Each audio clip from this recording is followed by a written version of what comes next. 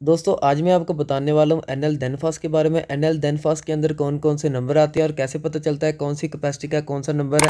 तो अगर तो आप लोगों को नहीं पता तो ये वीडियो आप लोगों के लिए ये इस वीडियो को पूरा वॉच करना है आपने। इनशाला आपको भी समझ में आ जाएगा तो चलो वीडियो शुरू करते हैं।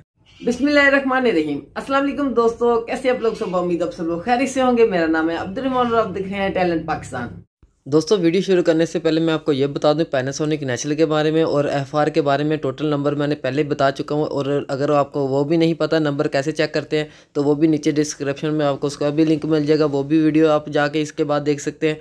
तो ऐसे चैनल को सब्सक्राइब कर ले बेल आइकॉन भी ऑन कर लीजिएगा ताकि आपको हमारी हर आने वाली न्यू न्यू वीडियो की नोटिफिकेशन मिलती रहे। यहाँ पर मैंने देनफास्ट के नंबर ले लिए हैं, यहाँ पर आपको जो चिट नज़र आ रही हैं छः की, चार की, पाँच की जो भी आपको चिट्टे नज़र आ रही हैं इन सब के बारे में तसली से आपको बताऊँगा कौन कौन सी चिट कौन से नंबर की ये आप देख सकते हैं, यहाँ पे छः शारिया एक लिखा हुआ है।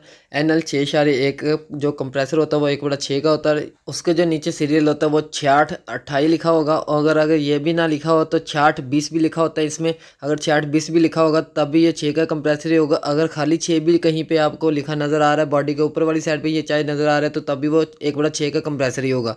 तो ऐसे ही आप जज कर सकते हैं कि छः के कंप्रेसर में कौन कौन से नंबर आते हैं। अगर आपके माइंड में न्यू न्यू नंबर भी आते हैं तो तभी आप मुझे कमेंट बॉक्स में पूछ सकते हैं कि भाई, इस कंपनी में ये वाले नंबर भी शो हो रहे हैं, ताकि मैं आपको, अगर कोई मिस भी हो गया होगा, तब भी आपका जो माइंड है, वो फ्रेश कर पाऊँ और वो आपको बता पाऊँ कि ये यार इतने नंबर का कंप्रेसर का नंबर है।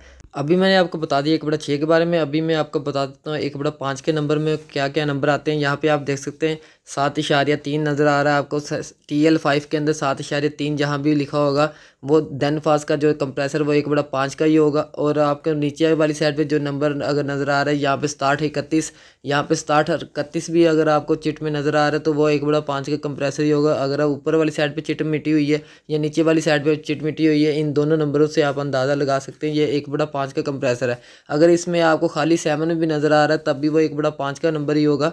अगर खाली आपको ऊपर चिट के ऊपर नंबर नज़र आ रहा होगा कि खाली एक बड़ा सात लिखा है, या जैनवन पीस के ऊपर भी खाली सात लिखा आ जाता है तो तब भी वो एक बड़ा पाँच का कंप्रेसर है। यहाँ पे भी आप देख सकते हैं एन एल सेवन है।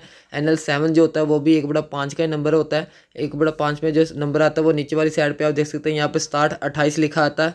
स्टार्ट अट्ठाईस भी जहाँ पे लिखा आएगा, वो भी एक बड़ा पाँच का कंप्रेसर ही होगा। और अभी आपको मैं बता दूँ तो एक बड़ा चार के बारे में, एक बड़ा चार का जो कंप्रेसर आता है, वो आठ शारिया चार लिखा आएगा जहाँ पे भी एन एल आठ शारिया चार लिखा आएगा, वो एक बड़ा चार का कंप्रेसर होगा और उसके नीचे वाली साइड पे जो आएगा अठाठ छियाठ आएगा अठाठ छियाठ जहाँ पे भी आपको नज़र आ जाए, वो एक बड़ा चार का कंप्रेसर होगा। अगर आपको अठाठ सताईस अठाठ अट्ठाईस, तब ये भी अगर आप, आपको नंबर नज़र आए तो तब भी वो एक बड़ा चार का कंप्रेसर ही होगा।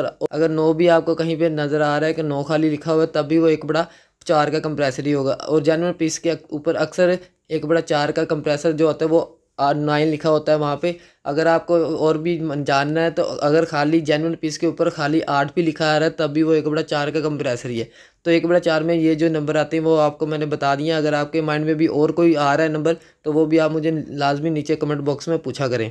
अभी मैंने आपको छः के पाँच के चार के टोटल नंबर बता दिए अभी मैं आपको बता देता हूँ एक बड़ा तीन के अंदर कौन कौन से नंबर आते हैं यहाँ पे आप देख सकते हैं एन एल टेन लिखा हुआ है। एन एल टेन जहाँ पर भी लिखा आएगा वो एक बड़ा तीन का कंप्रेसरी होगा और उस, अगर उसके नीचे अठाठ उनतीस लिखा आ रहा है तब भी वो एक बड़ा तीन का कंप्रेसरी होगा। और इसमें एक और नंबर भी आता है वो नंबर आता है अठाठ उनतालीस। अठाठ उनतालीस भी अगर कहीं पे भी आपको नज़र आ रहा है वो भी एक बड़ा तीन का कंप्रेसरी होगा। दोस्तों देन फास्ट के अंदर जो एनएल के अंदर जो भी नंबर आते हैं, वो मैंने अभी आपको बता दिया अगर आपके नॉलेज में नहीं है तो नेशनल के नंबर भी जानने हैं और अगर आपने देन फास्ट एफ़ के नंबर भी जानते हैं, नीचे डिस्क्रिप्शन में उसका लिंक है तो वो भी आप जाकर लाजमी विज़िट करें। उम्मीद करता हूँ आज की वीडियो से आपको बहुत कुछ नया सीखने को मिला होगा। अगर आपको वीडियो अच्छी लगी तो प्लीज़ इसे लाइक कर दीजिए शेयर कर दीजिए एक प्यारा सा कमेंट भी कर दीजिएगा। चैनल को सब्सक्राइब करके बेल आइकॉन भी ऑन कर दीजिएगा, ताकि आपको हमारी हर आने वाली न्यू न्यू वीडियो की नोटिफिकेशन मिलती रहे। तो अपना बहुत सारा ख्याल रखिएगा, दुआओं में याद रखिएगा। अल्लाह Southeast.